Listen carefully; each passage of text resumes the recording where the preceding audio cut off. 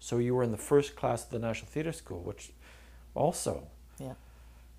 must Yeah. have been a little. Well, it was because Powys he'd come to rehearsals and and then uh, and he'd be in a show and then he'd go away on auditions and then he'd come back and he'd come back and I'd say how were the auditions and he he'd be going off to Montreal on the weekends and meeting with Michel Saint Denis and all that sort of stuff and it was really exciting for that whole year that we were at the Crest and so I kept asking him what how it was going and he would talk about the syllabus and the teachers he was hiring and and the auditions and I'd say how how were the auditions? And he'd say oh fantastic he said. I went to Regina and I saw this wonderful girl. She had hair down to her hips and she came into the room in bare feet and she'd been raised by nuns and she's never been on a stage in her life and she there's nothing we can teach her. She is innately talented and she's in and then the next weekend he'd come back I'd say what was Quebec like fantastic. There were four girls, hair down to their hips, came in in bare feet. Zoftic, gorgeous, beautiful girls. They've all been raised by nuns. There's nothing we can teach them, and of course, they're all in. And so, after several of these audition tours, I said to him at one point when he was talking about the uh, the teachers that he was hiring, I said, if there had been a school like this when I was looking for a school, this is where I would have gone. I'd been all through Carnegie Tech, which was one of the most highly regarded drama schools in the United States, and I knew still, especially from, I was so lucky, you know, because I spent that year at the Crest able to try out what I knew, and I knew I didn't know enough. Yet. How did you know that, that you didn't know enough? Because I got to Nina in the Seagull and I didn't know how to play it. And I didn't know how to approach it.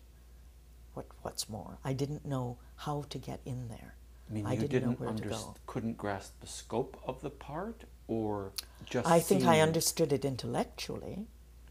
I certainly knew what it was about, and I studied the play, and I did all the things they teach you to do at school. But I couldn't, I couldn't find out where I fit. It's the only way I know how to explain it. I didn't know how to sit in it. I couldn't become a part of it. Now, I'd done other things at the Crest season that year that I could fit into. I the first thing I played there was Ermengarde in The Matchmaker. Now, Ermengarde is a very small part, and she cries most of the time. So it's a, a fairly simple task.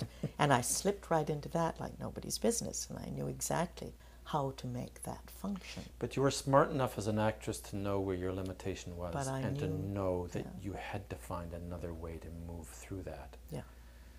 I knew I had come to the limit of my skill. And by skill, I don't just mean technique, I mean emotional technique as well, emotional craft. And I, I didn't know how to access that. I knew that I felt huge mountains of things, and sometimes in rehearsals, those mountains of things would spill out.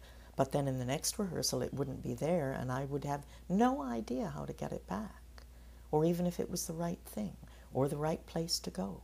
I didn't know how to work. And, and there's no other part that will teach you what you don't know than any of Chekhov's characters, really. And did the school teach you how to work? Yes. How at least it, at least it gave me a, it gave me a place to sit. It gave me a grounding. Because Powys, I'm turning this into not how, but but why? Because Powys um, didn't talk about that. Powys talked about things like you get here on time, you put your nose to the grindstone, you don't sass back. You put every ounce of your energy into what Guy Hoffman is trying to teach you, and if you don't understand it, try again. You do everything Bernard Diamant is telling you about voice, and if you don't understand it, try again. You figure out how to make the link between Suzanne Rivet's movement classes and Bernard Diamant's voice classes. That's up to you to figure that out. And I remember the day I figured that out. and it was like a door opening. I realized that I could take something that had happened in one class and apply it to another. Nobody would know. I didn't mm-hmm. have to make up a completely new story for improvisation, although it looked, if you looked at the at the schedule, it looked as though now you have improvisation. So this has to be.